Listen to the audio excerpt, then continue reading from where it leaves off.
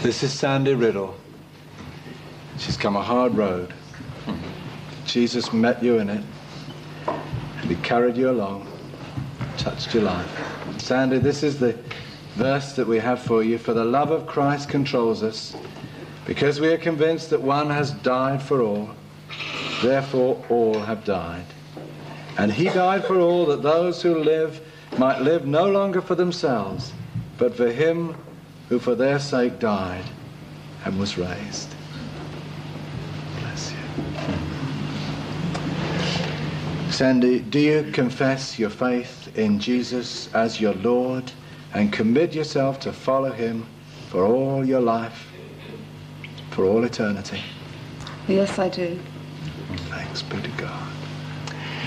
On your profession of commitment towards Jesus and your willingness to follow him as your Lord and Savior, we delight to baptize you in the name of the Father and of the Son and of the Holy Spirit.